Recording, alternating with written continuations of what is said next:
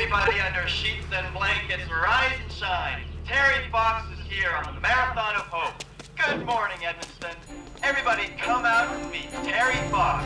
He's running 5,000 miles across Canada to raise money for cancer research. The run's not just a run. It taught me what it's about. It's about reaching out to people and having them touch you back.